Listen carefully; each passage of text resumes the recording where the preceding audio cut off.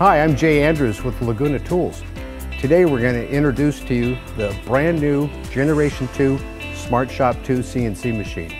We've gone through and redesigned the machine from head to toe and we've kept a lot of the great features that have made this an outstanding machine and one of our most popular machines for years.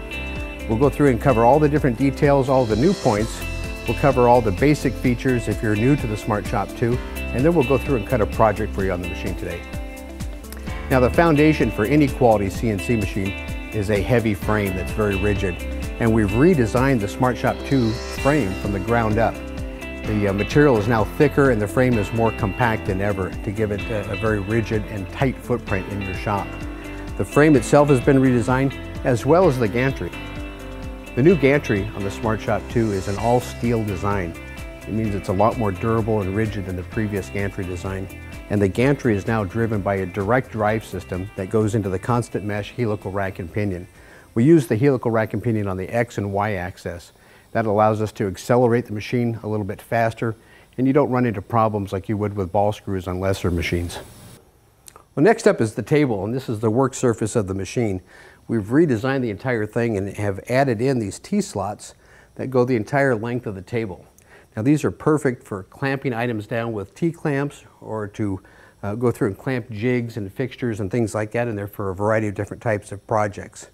Over at the edge, we've added these covers and those cover the rack and pinion and the linear guide so that you don't get dust and debris down into those items. It is a vacuum table and so we've got the four different zones up here that we can turn on or off with the valves. And we've remachined the grid system that's on the top so that it now can accept vacuum pods. And there's a variety of different types of vacuum pods in the marketplace. Here's two different examples from BVC and from Schmalz. And these will plug right into the grid of the table and allow you to pull vacuum up to the top through the valve and to raise your workpiece up off of the table. Now to help you position your workpieces onto the table, the uh, machine has always had pop-up pins and now these are adjustable pop-up pins where this front one can slide back and forth in the extrusion on the front You've got two more that are on the side and this lets you locate a part up in the corner of the machine. We've also moved the switch up to the control panel to make it easy and that'll allow you to go through and set your pop-up pins in the up position, put your stock against it, and then drop them down out of the way. One of the areas that we had a close look at was improving dust collection on the new Smart Shop 2. And we've redesigned the dust hood to make it tighter to the spindle.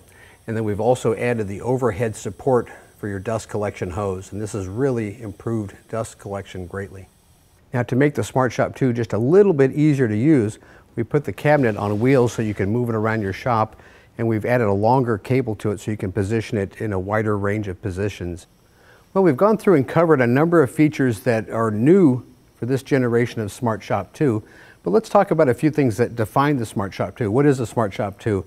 Well, first of all, it's a machine that's got a vacuum table an automatic tool changer. And that's kind of the, the basis for the machine. Now this is a 4x8. We also offer it in 4x4, 5x10, 5x12, and other sizes uh, upon request.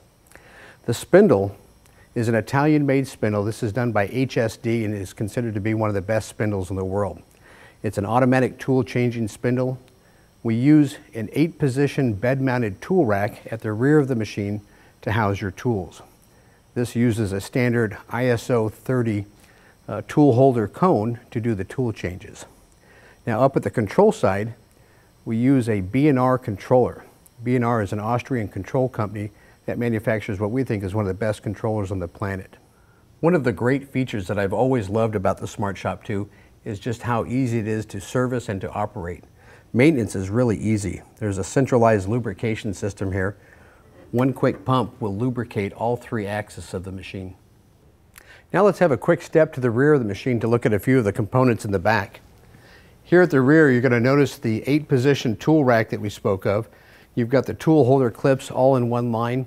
You'll see that there's an automatic tool touch-off station here in the rear as well.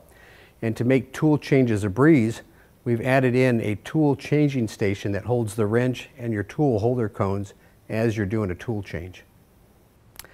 This is the control cabinet for the Smart Shop 2, and it features a lot of great elements, particularly one that we're very proud of, and that's the uh, industrial controller that we get from B&R Automation.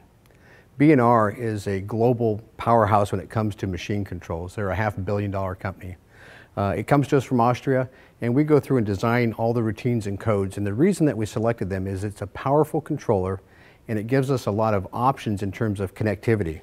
We can put jobs in through a simple USB stick. We can connect an Ethernet cable so you can network it to your system, or you can plug it into a Wi-Fi hub and get jobs to the machine wirelessly. Now the nice thing about this controller is it's got a ton of power as we just mentioned, but it doesn't take a computer scientist or a programmer to be able to operate the machine. A simple uh, course in terms of the machine controls and operations when we do your setup and training will be all that you need to get up and running with the Smart Shop. Now I'm going to go ahead and power this up and we're going to run a job. I think we'll go ahead and do a sign job today on the machine, but of course you can run cabinets or any types of parts that you like. Um, let's go ahead and get it powered up and have a watch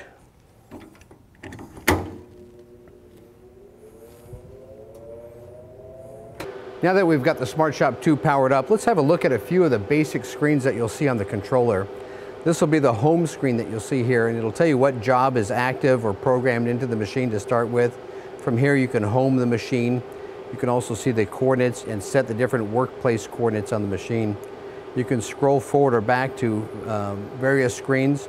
You can verify the origin of your project, if you need to retract the dust hood and have it go up and down, it's just a simple click of the button to raise and lower the dust hood on the machine. You can park a particular tool, check your code. This will show you the overrides on the machine, and this will tell you the percentage of speed that your spindle is going, that the feed rate of the machine is doing, and what the rapid speeds are.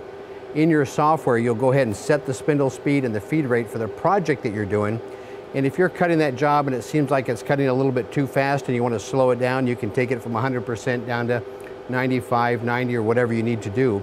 But you can also bump it up and override it a little bit if you set the job initially too slow and you wanted to speed it up. We can go back to the um, home screen here. Uh, on the manual, uh, the manual screen, you'll see that there are manual movements that you can make. You can move any axis. You can move them at 100% speed, or you can change that to 50, 10, or 1% if you're just going through and positioning the machine. The program screen will let you access programs either from the USB stick that we talked about or from the internal memory inside the controller. These are the jog buttons that allow you to position and move the spindle around and move the gantry around.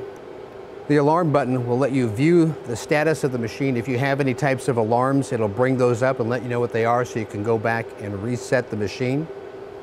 The tool menu will tell you which tool is active in the machine. It'll tell you the tool length. You can actually go through and program the machine for tool wear if you've had the tool sharpened.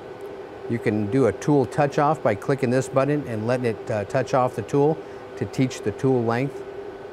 The start button will start any active program. You can hit hold at any point in time just to stop a job and to restart it. Or if you need to hit stop to completely stop a job, you can do that with the stop button. That gives us a basic walkthrough of the B&R controller. There's a lot more detail that we can get into when we do your setup and training on your machine. There's a few other features that are up here on the top of the control box. One of them is the uh, position pins that we talked about. The other one is the vacuum pump.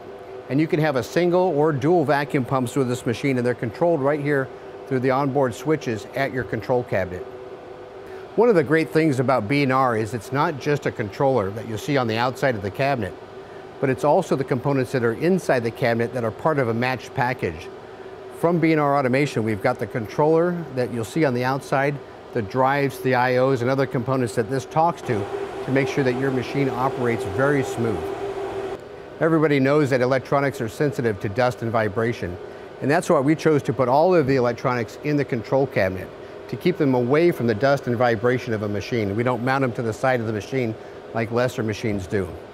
We also go through and put fans on the control cabinet to keep a steady stream of fresh air going through the cabinet to maintain the temperature inside the control cabinet. This ensures years of reliable service from your electronics. Well, that completes a walkthrough of all the different features of the machine. Let's put this 12 horsepower spindle to the test by doing a nice sign job. Let's go ahead and get a spoil board on here, some sign foam, and let's carve it up.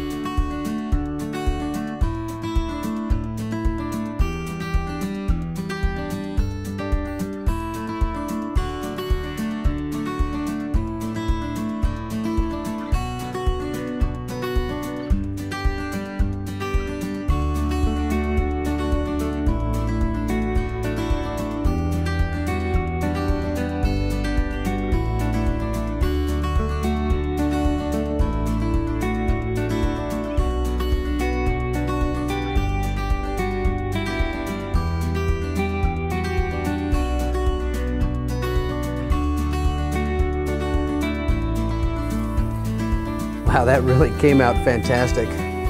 I really enjoy carving this sign foam because it's a kind of a lightweight material that carves so well. We've had a chance now to see the Smart Shop 2 in terms of the features as well as the machine in action carving up this fantastic sign. If you've got any questions on the Smart Shop 2 or any of our machines, look us up on the web at lagunatools.com, give us a call toll free at 800-234-1976 or go over to our YouTube channel and have a look at all the videos that we've got there and don't forget to subscribe.